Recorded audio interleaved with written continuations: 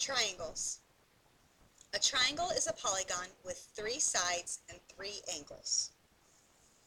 The sum of the angles in a triangle is 180 degrees. We classify triangles by their angles and by their sides. We're going to go ahead and classify by the angles first. So we can have an acute triangle.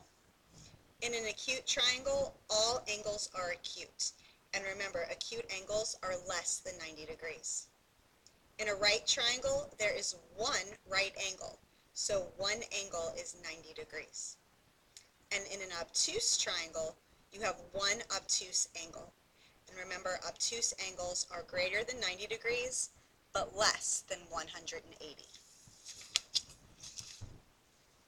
When you classify triangles by their sides, they could be equilateral, in an equilateral triangle, all sides are congruent. This is shown by markings. When a side has a same mark as another side, it means that the length is the same. Isosceles triangle is a triangle that has at least two congruent sides.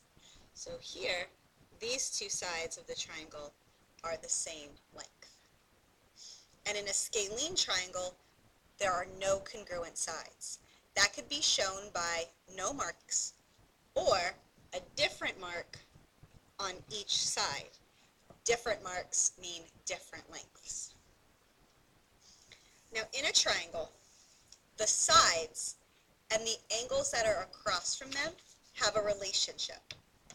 So if this is angle A, B, and C, the side across from angle A, I'm going to call little a.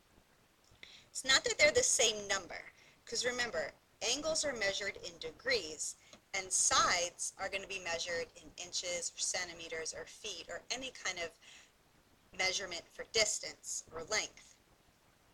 But they have a relationship with each other. So the side across from B is going to be a little b, and the side across from angle C is going to be a little c. What that means to us is that if we had two angles that had the same measure, then their sides across from them would also be the same. So just by looking at a triangle, we can tell without markings whether it's going to be equilateral, isosceles, or scalene by knowing the value of the angles. So let's go ahead and find some missing angles and then classify the triangle by its angles. So in our first triangle, we have 63 degrees, 42 degrees, and x. Well, we know that the sum of the interior angles in a triangle is 180 degrees. So 63 plus 42 plus x equals 180. Now, I know it may seem silly to go through and do an easy question like this, but when you learn the process on how you're solving, when we get to the harder questions, they're not going to seem hard. So 63 and 42 is 105 plus x equals 180. Subtract 105 on both sides, and x is 75 degrees. So now we need to classify the triangle by its angles and its sides. So we have a 60 degree, a 42, and a 75 degree angle. So that means they are all acute. And since all the values are different, it is a acute scalene triangle.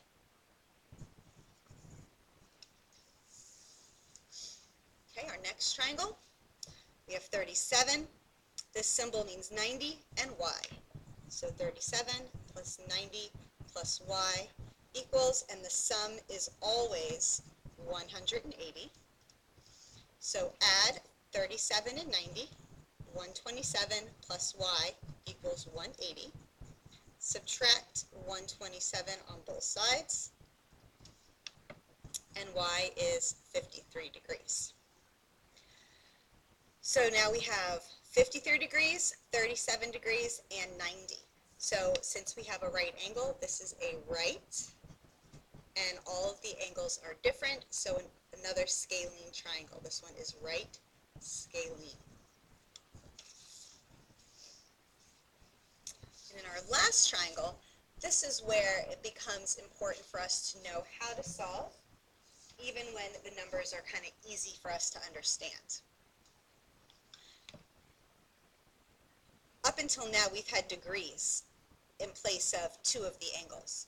This time we have all variables, but we're going to solve it the same way. 6p plus 2p plus 2p plus 2p equals 180. Collect like terms. That's going to be 10p equals 180. Divide both sides by 10, and p is 18. 18 is not one of the angles. 18 is our value for p. So to find our angle that is 2p, multiply 2 times 18, and this angle is 36 degrees, as is this angle right here. So then 6p, 6 times 18, is 108 degrees. So to classify this, we have an angle that's over 90 degrees, so this is an obtuse, and two angles are the same, meaning this side and this side are going to be the same length.